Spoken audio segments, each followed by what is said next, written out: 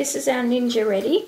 So what we have to do now is get him off the plastic so he can dry completely. He's dry enough to remove from the plastic, so just where the sticky tape is, cut it off.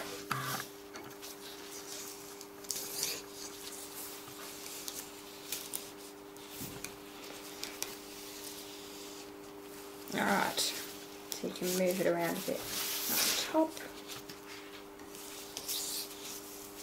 Okay, now, might be able to see him a bit better if he's like that off the board. So there's our Ninja. So that's what we're going to put onto the cake so we can just fill it in with our Dream Whip icing, which will be coloured. Okay, so what we have to do is slowly go around and take the pipe don't paint off the plastic. Now this is black pipe don't paint, black one. And this has been in the oven on light and fan since this morning. So it just shows you how quickly the oven can dry this product out if you're in a hurry to use it.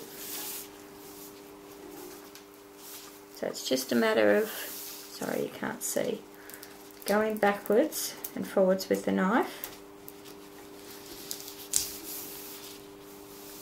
to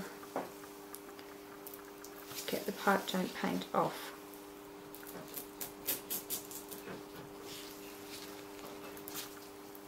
Because this will help to dry the underneath once it's lifted off as well. And we want to try and keep it in one piece, which shouldn't be a problem.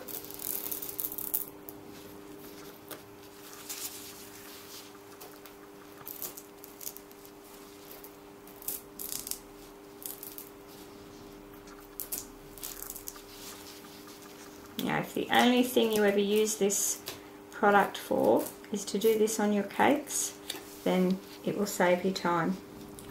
Because normally you would have to work out a way once your cake's got icing on it as to how to transfer the picture over onto the cake. And unless you have an overhead projector sitting by in your back room or whatever, it can get quite difficult to do. Otherwise, a lot of people do it freehand. You could use chocolate, as I mentioned earlier, but in the process of using chocolate, you might have a hot day where it melts or anything could happen. And it also might not be the colour you want. For me, I'm lucky I wanted black for my Ninja because he's black and green. Whereas we have quite a lot of colours in the colour range for pipe don't paint.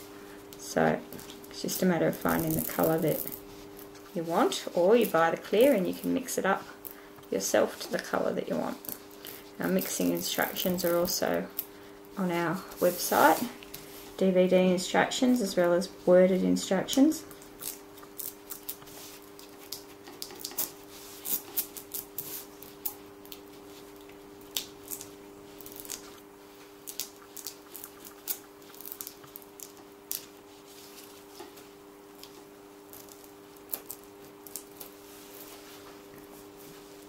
Now these bits that weren't connected I'm keeping because I still I can stick them on in the spots they need to be stuck on.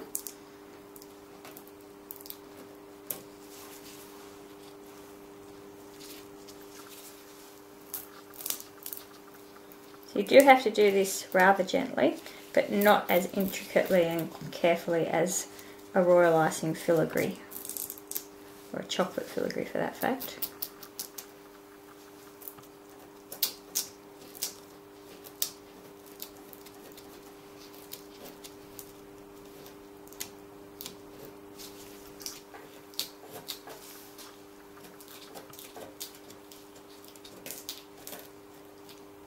This bit might not be as dry because it's a little bit thicker.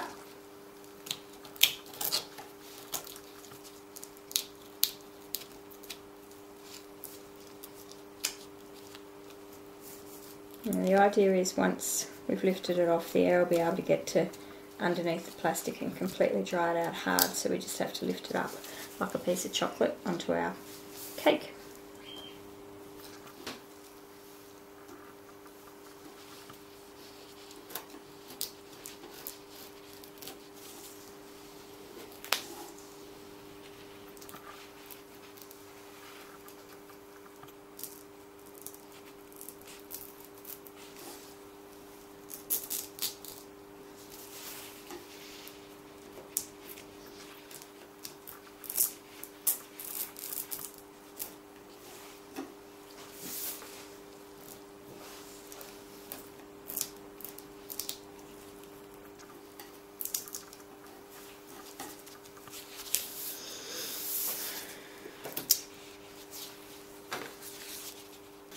Okay, basically the ninja's been completely lifted.